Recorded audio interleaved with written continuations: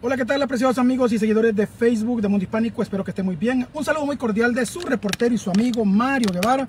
Aquí, como siempre, dándole noticias, información de mucho interés para toda nuestra comunidad. Espero que estén teniendo un día maravilloso, un día bendecido. Y pues bueno, ya que comenzaron a conectarse, quiero comentarles un poco sobre mi crónica de hoy. Tiene que ver con la historia de muy común en nuestra comunidad. Nosotros sabemos de que llegamos a este país Mucha gente le gusta vivir amontonado, vivir eh, con otras personas, con terceros. Todo esto es por ahorrarse dinero, por eh, pagar menos en, las rentas, etc. Hay, hay, hay casas que, que, me he dado cuenta que de tres habitaciones viven hasta 20 personas. O sea, en pocas palabras, una familia entera por cuarto. Cuatro camas, cinco camas en cada cuarto. O sea, no es crítica necesariamente, sino es hasta cierto punto como un llamado de atención. Eso solo genera problemas, celos, iras, contiendas, eh, incluso hasta abusos sexuales infantiles. Ha habido muchísimos casos que los roommates terminan abusando sexualmente de los niños de la casa. Pues bueno, justamente de eso quiero hablarles. Fíjense que hay un hondureño. El muchacho salió tarde del trabajo, llegó a su casa cansado. Bueno, todavía pasó a recoger al niño donde la niñera.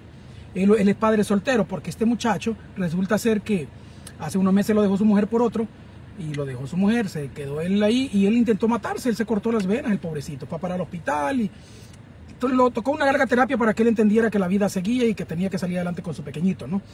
Resulta ser que este hombre llegó a su casa, ¿verdad? A su apartamento y bravo porque la persona a la que le rentaba eh, esta gente tomando a medianoche y él queriendo descansar, entonces se empezaron a discutir y, se trascendió un poco al punto que él aventó las cervezas al suelo, al piso de su propio apartamento.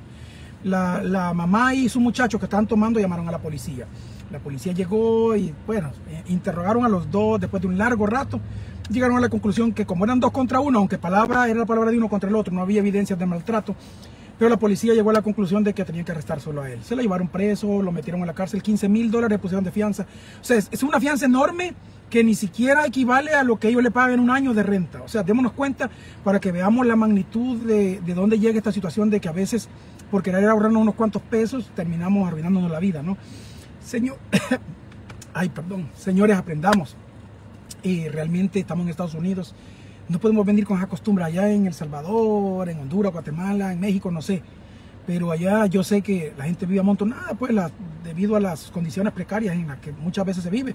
Aunque ya vengamos a este país y nos querramos creer que somos de la high class y que tenemos money, etcétera, etcétera. Pero no, allá venimos de lugares de verdad tristes, ¿no? Y esa es la realidad. Pero aquí se nos olvida. Pero ya llegar acá, aquí podemos trabajar y podemos darnos el lujo de pagar nuestra propia recámara poder darnos el lujo de no tener que vivir amontonado, de no tener que arriesgar a nuestros hijos. Manuel, así se llama el hondureño de mi historia de hoy. Manuel pagó caro su error de quererle dar, pues, hasta cierto punto ahorrarse unos dólares para la renta y terminó preso. Ahora está en tremendo problema legal. Tiene que, aparte de los 15 mil, va a tener que gastar en abogados, tener que perder días en corte, días de trabajo por andar en corte, etc. Y lo peor es que en caso de que resulte culpable pueden dar un tiempo de cárcel. Incluso hasta puede ser deportado. Señores, por favor, ¿vale la pena eso? Yo creo que no. En fin, Manuel aprendió tarde la lección. Supongo que cuando regrese a la casa lo va a poder eh, sacar de prisión. Ahí está el video, aquí está el video. Yo tengo el video que me dio la policía de esto. Véanlo ustedes, háganse su propio criterio, analicen el video, van a darse cuenta quién, o sea, la policía ahí actuó injustamente. Solo porque llegaron a un lugar no quería decir que tenían que llevarse a alguien, pero bueno, no, la policía piensa diferente a veces. Ahí está el video, véanlo y compártanlo. Está la, imagen también de las personas que lo que denunciaron el 9, que llamaron el 911 para denunciar a este muchacho. Está obviamente la fotografía de Manuel. Así que bueno, mi gente, cuídense, su amigo y su reportero Mario Guevara.